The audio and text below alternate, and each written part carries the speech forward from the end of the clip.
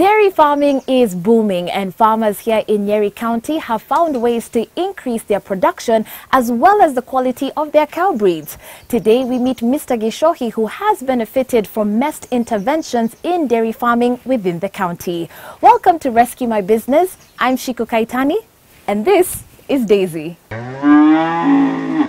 Kenya's dairy industry is dynamic and plays an important economic and nutritional aspect of the Kenyan population. Participation in this value chain ranges from farmers to milk hawkers, processors, and consumers. A study by Tegemeo Institute of Agricultural Policy and Development has identified Kenya as the second country in Africa after South Africa that produces enough milk for both domestic consumption and export. Nyeri County has numerous dairy cooperatives, and one of them is the Gakindu Dairy Cooperative Society, who have partnered with the Micro Enterprises Support Program Trust. The dairy is situated in Mukurweini district. The cooperative society has a registered membership of about 2,000 dairy farmers. For years, farmers have been using traditional farming techniques for long-term production of milk. However, it wasn't long until Mr. Ephantus Gichohi, the chairman of Gakindu Society and his members realized that their farming businesses were performing below revenue expectation and their business models were inadequate. We realized that uh, like uh, the animal feeds, we, the, there was a problem with the animal feeds and that is a national issue whereby we are getting uh, very poor quality standards of milk, of, uh, of dairy meals. So we decided that if we make our own dairy meal, we are sure of the quality and the content of the raw materials. And we are able now to make a very quality dairy meal, whereby if you feed your animal, you'll get an increase of two kilos of milk. And if you now don't feed your animal, you get a reduction of the milk. With the desire to achieve more from their business ventures, the Gakindu Society sought assistance from MESPT, who not only came on board to support and finance various projects, but also introduced new technologies in the dairy value chain. MESPT really has already uh, helped us to get some uh, kind of new technologies, especially on the way we are now weighing our, our milk the farmers are benefiting a lot because there before we were using analog, now we are using digital weight scales. And the importance of uh, uh, digital weight scale is the points. There before we used to scoop some milk and we'll turn it to the farmer if it doesn't add to a, a maybe a half a kilo of the milk. Nowadays, the digital scales are able to capture even the points and make them accumulatively. And at the end of the month, it makes something good for the farmers.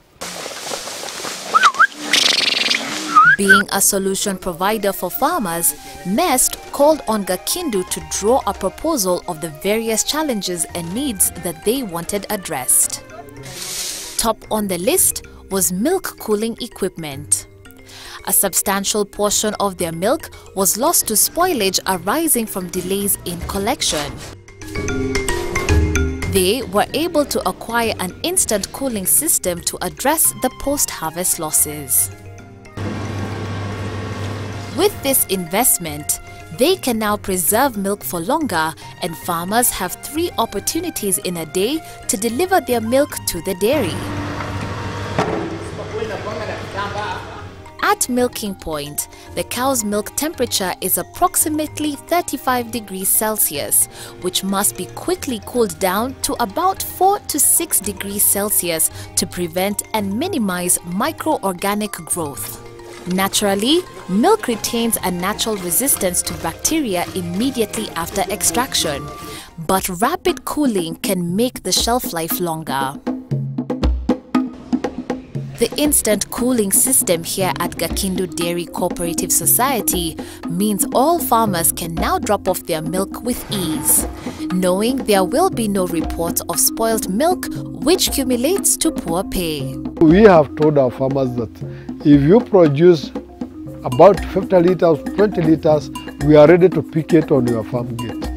And the way we are doing it, we, are, we have come up with a piloting project on collect our milk with motorbikes because we want to create employment to our youth. So we are contracting our youth to collect the milk with motorbikes. So they are our service providers. Another component of Gakindu Dairy's proposal to MESPT was the challenge in getting quality and affordable animal feeds. They were supported and financed to put up this animal feed production house, where they now produce their own brand called Pokea Feeds, which is approved and permitted for sale by the Kenya Bureau of Standards, KEBS. The factory generates income for the society as well as provides employment opportunities for the people in this area. The setup of this production center took a whopping 2.5 million Kenya shillings, which included purchase of the processing and mixing animal feed machinery. Over in Olenguruone, we come across the Olenguruone Dairy Cooperative Society who echoed the same sentiments as the Gakindu Society about MESPT. From humble beginnings, they too have seen tremendous growth as a cooperative, having been a beneficiary of MESPT products and services. Having kicked off as just an ordinary dairy cooperative society to assist local farmers in marketing their milk at reasonable prices, the Olenguruone Society discovered that they were limiting their potential for growth because of the services they offered their members. It was at this point back in 2012 that they turned to the Micro Enterprises Support Program Trust to give the society a financial boost and technical support. After the intervention, Olenguruone Dairy Cooperative Society has become a powerhouse within the area and can boast about their integrated business model, which includes two milk collection centers, an agrovet shop, and a financial institution known as the Mavuno Daima Sacco Limited. The operations of the three are integrated such that farmers' records are easily accessed, hence it's easy to deliver services at the agrovet and the SACCO through a check-off system. This makes it a one-stop shop, which means happy days for the Olenguruone farmers. The Mavuno Daima Sacco was initially the Olenguruone FSA, which only offered loan products to dairy farmers only. This, however, changed after MESPT gave them a loan to upgrade. They rebranded to Mavuno Sacco, which not only offers loans, also provides banking services to both members and non-members. Both the farmers and the officials attribute this great milestone to MESPT, and they believe their lives have changed drastically. When MESPT came in, we told them about, about our, our, our, challenges. We want to assist farmers, but we don't have the capacity. So what they did was they say, okay, if that's the problem, we can be able to give you some soft loan at even a small, uh, okay, we charge interest, but maybe slightly higher than what they are giving us, eh, so that we're able to, to maintain. So tukapata hiyo pesa, we gave us 5 million shillings as a loan. Then we said, where we are accommodated now is a rented premise. We are paying rent, even we got some interest from these farmers, it was still going back to pay rent. So we said, let us, let us, let us split this money, 5 million to 2. 2 million yearly ku revolve as a, as, a, as a loan 3 million tuchenge nyumba yetu our own so that finally, uh, finally we'll, have, we'll own our own building where we don't pay rent na tukahama pande hii. So we are putting slightly more than 3 million now but we are able to, we are going to we hope we, and we pray we are going to finish this building. So already we are moved in. We are we are now closing those ones where we are renting. The 20000 we are paying every month will now help us side to put up other things so we are, we are making a savings. Yeah? And we have come to our own premise. The Olenguruone Dairy Cooperative Society's primary concern now is to put up a new milk collection center at Olenguruone town since this one you see here was built in 1952. These are all vital additions to their operations. Before MESPT intervention, they had their fair share of challenges that included milk spoilage, loss of members to competitors, and poor markets. Uh, the, the, the, problems we had during that time was uh, we were not getting enough milk. We were not having our own transporters. So we, had, we have to look for transporters and also the market prices were down. With the introduction of the milk chillers at all their collection points, farmers here have a convenient drop-off point and consumers are assured of high-quality milk thanks to the modern preservation practices and the lab tests that determine the quality of all received milk. This scaling up and offering of better services has attracted more farmers to the cooperative and even their competitors are now seeking an opportunity to buy their milk because of its quality assurance. Right now we are selling our milk to three processors, KCC, Happy Cow and Countryside. Yeah. To add the cherry on top, the Olenguruone Dairy Cooperative Society have a fully stocked agrovet, which serves the farmers within the area just like the Gakindu Dairy Cooperative Society in Nyeri. The small-scale farmer now has access to affordable animal feeds as well as veterinary services and products. For the Gakindu Society, their collection and bulking center has been life transforming. The Dairy Cooperative Society can boast about receiving an average of 3,200 litres of milk per day from its members.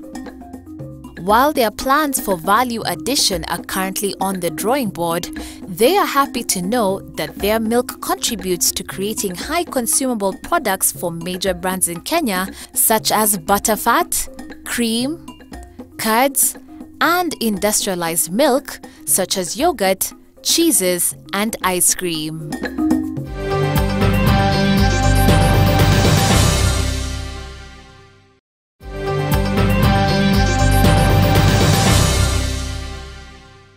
Embryo transfer is proving to be a very successful technique in animal breeding here in Nyeri. Let's find out more about this new practice that's taking dairy farming by storm.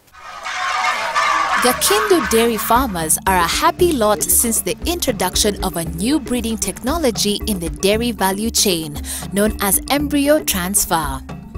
This is an advanced reproductive technology and progressive tool that helps dairy farmers produce more offspring from an inferior cow, leading to better breeds and higher milk yields. After initial contact with the East African Semen and Embryo Transfer Association, support to implement the program was sought from their partners ASDSP and MESPT. As a holistic solution provider, MESPT saw a need to market Gakindu Dairy and hence they were considered to be the first farmers dairy cooperative in Kenya to use the embryo transfer technology.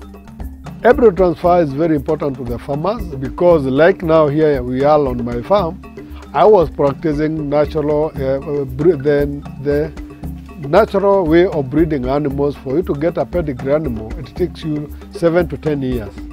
And uh, I have already achieved, to, I have two pedigree animals that have taken me seven to 10 years. But when you use the new technology of embryo transfer, within nine months, you have a pedigree animal and that animal has a value of about 150 after uh, birth date. So you can see that uh, if someone is to take to spend about uh, seven to ten years, and you are within nine months you have a pedigree animal, that will now uh, make the farmers to have very good animals within a very short time. The technology involves the transfer of embryos from genetically superior animals into inferior ones to produce superior offspring and increase milk production. The animal can even produce between uh, 30 to 40 liters a day. If it is well fed, it is, if the calf is well brought up, they'll give you up to that level. The donor cow is first conditioned with hormones to induce ovulation, thereby releasing several eggs.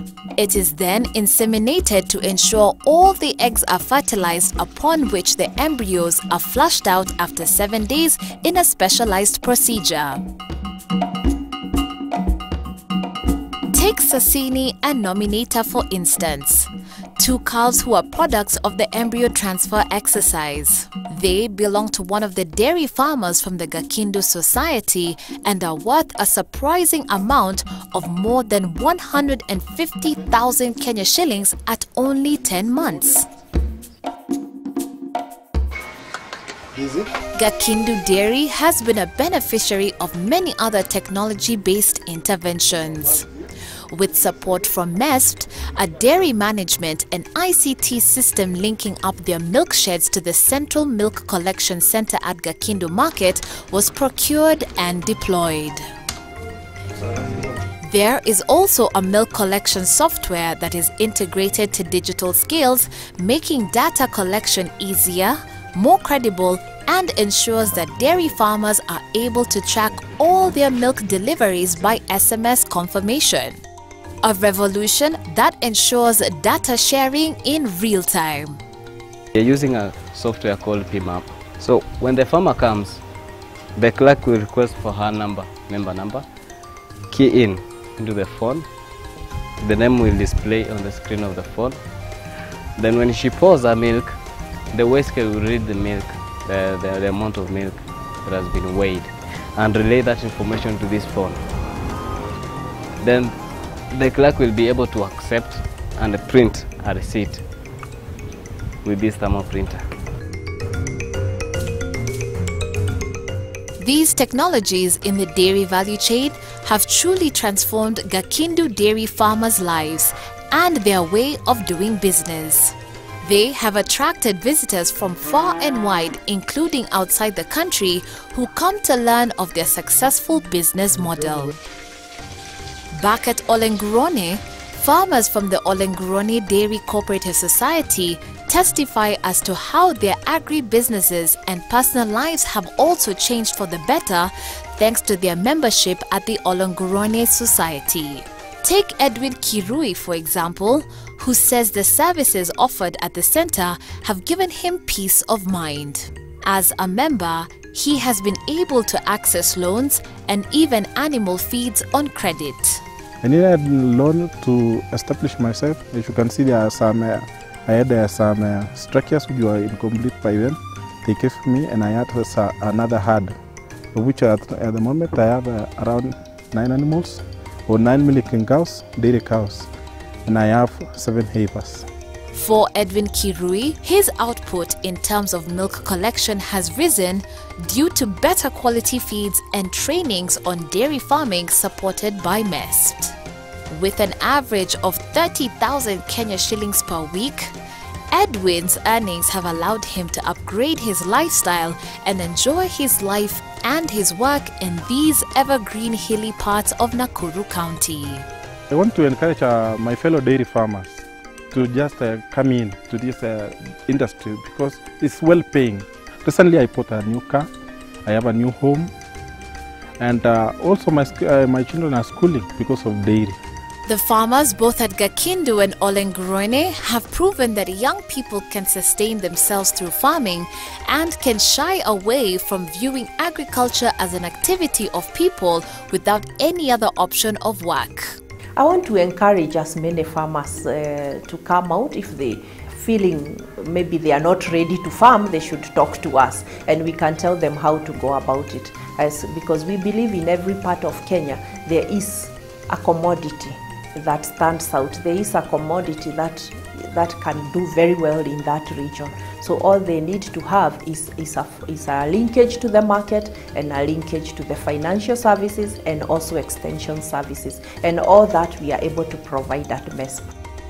For the Gakindu and Olenguruone Dairy Cooperative Societies, teaming up with MESPT was one of the best decisions they made collectively.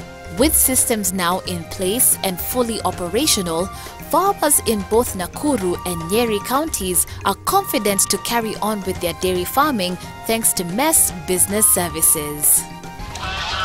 You too can learn more on how to get MESPT services that include capacity building and market linkages, soil and water management, energy audits and efficiency, post harvest loss management, global certification, financial services.